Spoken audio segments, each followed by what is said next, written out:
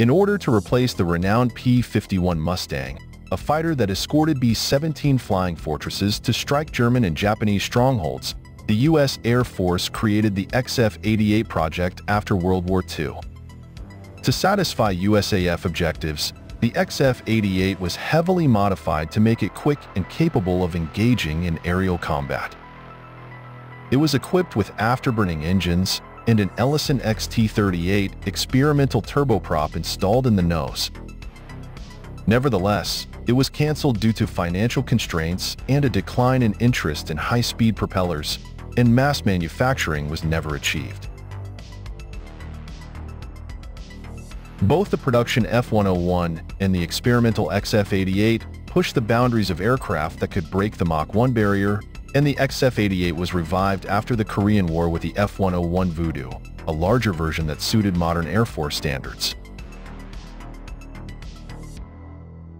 The XF-88 was developed in response to the U.S. Air Force's need for a successor for the P-51 Mustang following World War II. With a fighting radius of 900 miles, this long-range penetration fighter was intended to handle escorting bombers like the B-36. A number of alternatives were put up, however none of them were accepted. In one attempt, modified bombers were used to tow P-80 and P-84 escorts in order to increase their airtime and range. Prototypes with more fuel capacity, such as the XP-81 and XP-83, had early promise, but this proved impracticable for them. Under the direction of Chief Aerodynamics Dave Lewis, McDonnell Aircraft Corporation started developing a new prototype, the Model 36, in 1946. On June 20, 1946, the deal was signed, assigning the business the responsibility of manufacturing two test models for the U.S. Air Force, which were designated XP-88. The objective was to design a novel aircraft that could combat hostile planes and ground targets while operating deep into enemy territory, a concept known as the penetration fighter. The prototype was also supposed to include a turbojet engine, according to the Air Force. Initially intended to have straight wings and a V-shaped tail, the XP-88 was modified in the wind tunnel to address aerodynamic concerns. The classic tailplane arrangement was added, and the front end of the air intake was swapped out for a sweeping design. After receiving orders from the Air Force, McDonnell proceeded with two prototypes, which were delivered at Muroc Army Airfield in Southern California in October 1948. The prototypes had a pressurized cockpit with an ejection seat for the pilot and a low to mid-mounted wing that was swept to 35 degrees. The Voodoo's short noses 620mm M39 guns served as the offensive armament. They lacked radar. Underneath the rear fuselage, air intakes, wing roots, and jet pipes fed the Westinghouse J-34 turbojet engines. Powered by twin Westinghouse J-34 engines, the XF-88 took off for the first time in 1948 at Muroc Field. It was underpowered, with a peak speed of 641 miles per hour, falling short of USAF specifications despite its first performance.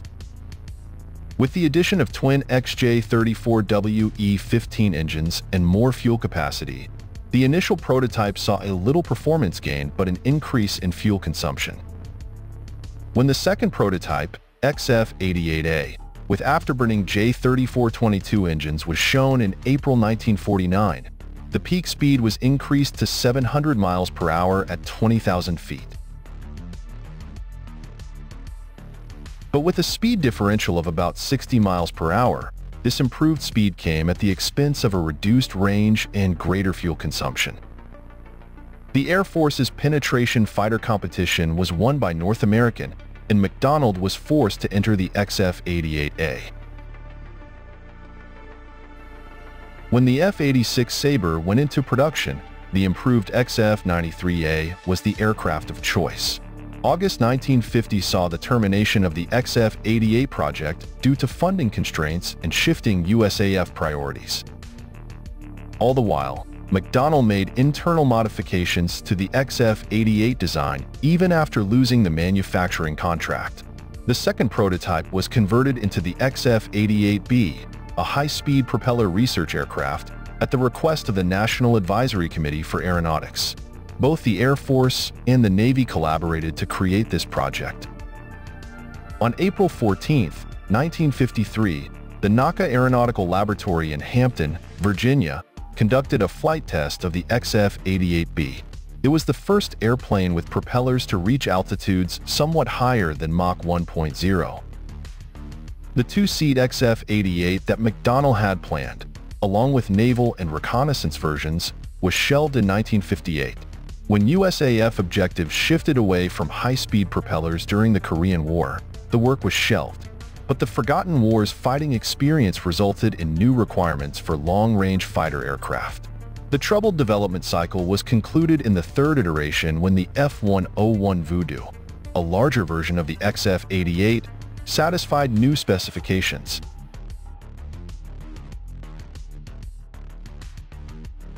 A new operational need for an upgraded XF-88 was released by the USAF in 1951. The aircraft changed from being intended as a penetrating fighter to a fighter bomber equipped with nuclear weapons.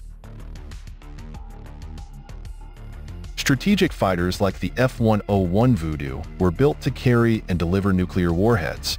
The F-101 Voodoo, which could carry three times the fuel load of the XF-88, won the offer in May 1951.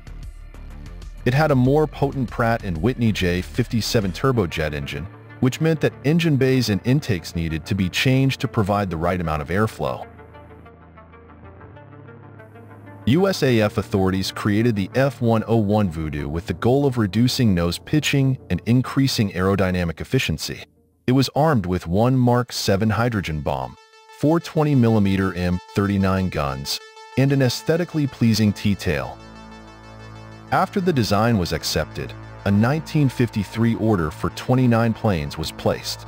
It was believed that the F-101 was an altered form of the XF-88, which was in the testing phase. On September 29, 1954, the aircraft conducted its first flight, hitting a speed of 597 miles per hour at a height of 35,000 feet. Boeing built the F-101 Voodoo, a fighter bomber that was the first to reach Mach 1.0. However, the Strategic Air Command withdrew from the XF-88 project as a result of the Boeing B-52 Stratofortress, a long-range strategic bomber propelled by subsonic jets. The Voodoo was nevertheless used by the Tactical Air Command as a fighter bomber to accomplish strategic goals. After design flaws were resolved in 1955, production started up again in 1956 for use in combat, interception, bombing, and reconnaissance, many F-101 Voodoo variants were developed. The Voodoo saw significant action during the Vietnam War and the Cuban Missile Crisis, despite not being tested in combat during the Korean War. No commercial model was ever made, and the XF-88 never left the testing grounds.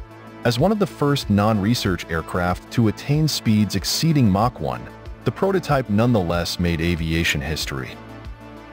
The F-101 Voodoo and its variations, which carried on its heritage, were worthy heirs and significant milestones in the development of aircraft capable of flying faster than Mach 1.